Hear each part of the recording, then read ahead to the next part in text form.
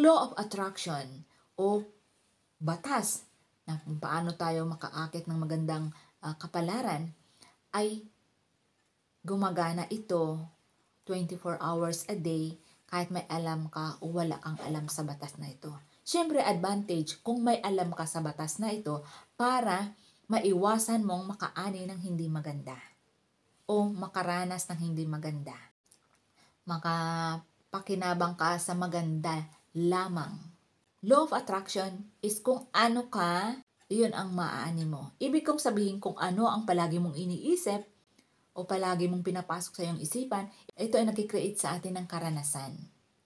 Karanasan na ah, bakit sinasabi mong paulit-ulit na lang ang karanasan na nararanasan ko, na hindi maganda, bakit ganito, ang sitwasyon ko hindi man lang nagbabago, sana ngayong taon ay magbago naman. Magbago lang ang iyong kondisyon, ang iyong sitwasyon, ang iyong pananalapi, ang iyong re- relasyon sa kung saan, magbabago lang yan kung ikaw ay magdedesisyon. Desisyon. So, desisyon na ikat yung mga negative. Ano yung negative?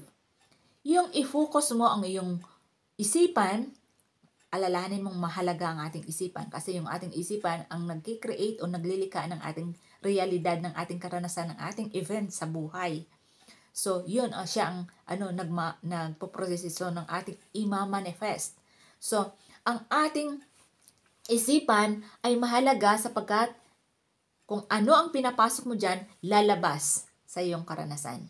So, kung halimbawa nag-focus ka sa umaga pa lang, nanonood ka na ng television, umaga pa lang, may kaguluhan sa labas, lumabas ka, at naka ah, at may nag-aaway pala doon. So, the whole afternoon, asan ang focus mo? Doon sa nangyari. So, or kung ano ang pinalabas sa television. Alam mo naman kung anong ipapalabas sa television mostly is may bagyo sa ah, lugar na to. May gira sa lugar na to.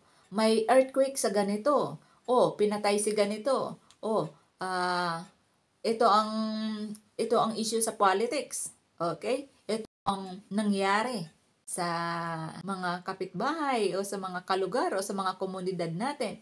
So mostly ang ipapalabas ay ang ah, pag-iinteresa ng tao na panuorin.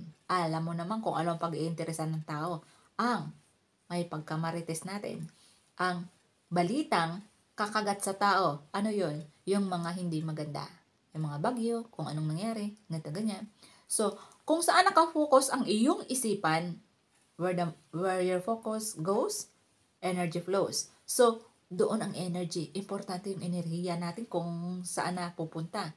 Kasi kung anong, kung saan napupunta palagi ang ating enerhiya, eh, yun ang, yun ang maani natin. Okay? So, kung halimbawa, ang ifinocus mo ay yung negatibo, the whole afternoon is negatibo. Ang ating buhay. So, kung palaging-palaging ginaganon, it will become your habit, and this habit, it will create your destiny. No? Yun yung law of attraction. So, kung anong pinasok mo sa isipan mo, madidevelop yun, magiging belief mo yun. Nakaroted na sa'yo ang mag-isip ng negatibo. Hmm? Ano kayang balita ngayon? Bukas na naman, gano'n na naman. Anong balita ngayon? Nakaprogram na ang isip mo sa kung anong news ang iyong maririnig. Ah, wala namang ka-interest. Nanalo si ano sa si Pacman sa boxing. Lagi namang nananalo yan. So, walang ka-interest. Ah, ganito ang nangyari sa politics. May maganda. Oo, ganito nga. Ah, dapat lang may mangyari. Pero, pagka may bagyo, pagka may earthquake, hala, anong nangyari? Doon na nakapokus. Ay, kawawa naman yung taong doon na na apektuhan. So, yung isip mo hindi mo alam na wala lang, na lagi mo yun ang hinahanap ng isipan mo kung ano ang balita ngayon, kung anong negatibong nangyayari sa ibang lugar, o kung anong nangyayari sa kapitbahay mo na kinaingitan mo, ah, word, inggit, is sign of immaturity. Sign of hindi ka asenso, hindi ka makakamove sa buhay mo. Kasi Naiingit ka kung anong kinakaingitan mo? Kung ano kinakatuwa mong hindi magandang nangyari sa kapwa? In time, yung sinasabing karma. Bad karma mangyayari din sa'yo. Kung anong nararamdaman ng kapwa mo sa kapighati ang naranasan niya at natutuwa ka, ah, darating ang panahon na magkikreate si universe. Kung anong itinapon mo dun, babalik sa'yo. Parang basura, no? Anong tinapon mo, babalik sa'yo. Babalik din ang basurang yon na magkikreate din sa'yo ng kaiingitan mo ulit. Okay? Or bad emotion sa'yo. So, ganun at ganun ang mangyayari. Wala kang positibong pinapasok sa isipan mo eh. O ma- para umasa ka ng positibong karanasan. Pag pos- ka, ngayon, kung halimbawa mag-pop up sa'yo na halimbawa na nafe-feel ka ng inggit, no?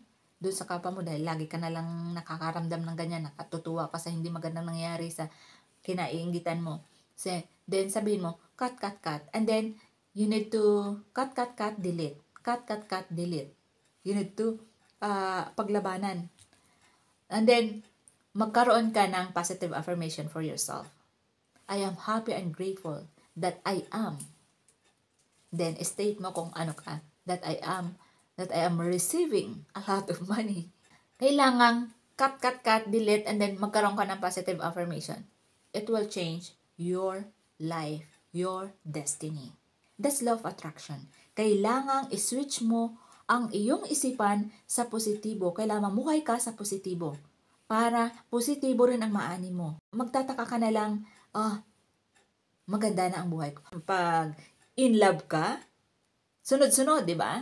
Sunod-sunod yung darating na emosyon na magkaganda na nararamdaman mo na maraming manliligaw sa'yo. Dahil it shines, it radiates to uh, your personality na para uh, ma-inlove sila sa'yo. Okay? So, pero, pag nabigo ka, sunod-sunod, bakit sunod-sunod naman itong, tahi, itong hindi magandang nangyayari sa akin? Dahil your feeling is low. Your emotion is low. Negative ang nararamdaman mo. Kaya negative din ang maaani mo. So, kung ano ka, yun din ang maaani mo. Yun din ang uh, mararanasan mo. Yun din ang events na ibibigay sa'yo. Yun din mga tao ang ipapadala sa'yo kung hindi maganda ang ugali mong lagi kang magagalitin. Yun din ang tao ang ipapadala sa'yo dahil yun imamatch niya ang mga sitwasyon, ang mga tao na ipapadala sa kung sino ka. Ang law of attraction, what you sow, so shall you reap. Kung anong itinanim mo sa isipan mo, yun din ang aanihin mo. Kung anong itinanim mo sa isipan mo, yun din ang aanihin mo ang yung laging pinapasok mo sa isipan mo, magiging belief mo. And then, it will, it will determine your, your belief will determine your feelings, your emotions. And then your emotions will influence your actions, your manifestations. Babalik yan sa kay conscious mind. Kung anong pinasok mo sa kay subconscious mind, kung ano ang na-impress na subconscious mind, ibabalik yan doon kay conscious mind. Through process. And then ito ang magiging karanasan mo. Okay? So, God bless everyone. Sana isipin natin ngayon ang positibo. Pag may pumasok na negatibo, anong gagawin? Cut, cut, cut, delete, and then make a positive affirmation for yourself. Para positibo ang ating maaani. Sana naintindihan nyo ako. Sana uh, na, na may natutunan kayo sa akin at uh, maging maganda nawa ang iyong buhay. Pag blines natin si kapwa, ang ating kapwa ay extension natin yan. So pag blines natin sa kapwa, babalik ang blessing sa atin. Nung maliit ako, lagi kong sinasabi na gusto kong maging mabait sa mga matatanda. Then blessings comes in. Kasi, kaya lahat ng mga matatandang makikita ko nung maliit ako, no, no, may time na pumasok yun sa isipan ko, lahat ng matatandang makasalubong ko, binibless ko. God bless po, God bless po, God bless po. Uh, nag-aamin ka yung sa Bisaya. Oh, amen, amen, amen.